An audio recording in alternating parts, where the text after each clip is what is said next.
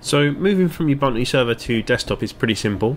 First of all, quickly do an lsb underscore release space dash a to get the latest information on which variant you're running. It's the Linux standard base info and includes the distribution. Next, you'll need to do an apt update or a sudo apt update just to make sure that you've got everything up to date.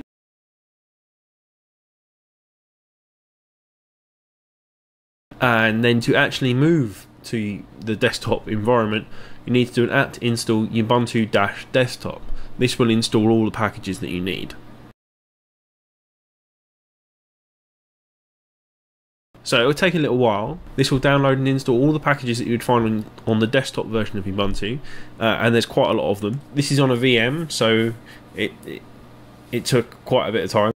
It also installs the default apps you get with Ubuntu desktop, so it, it's like putting an a desktop ISO in and booting from that.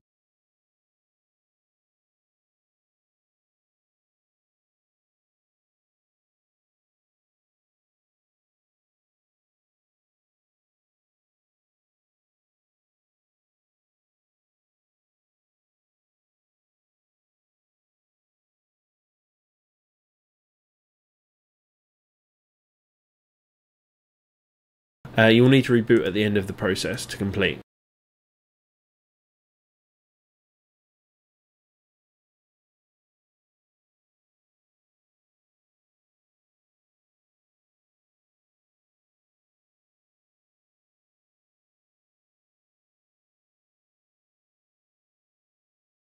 After the reboot, you'll see a normal desktop GUI logon session, and you can log in from there.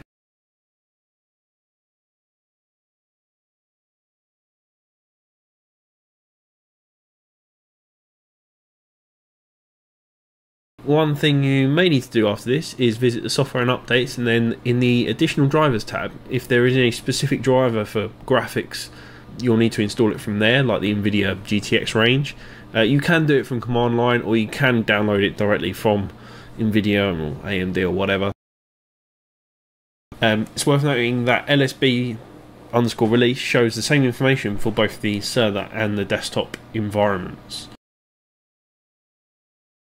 Anyway, I hope this helps someone, and um, thanks for watching.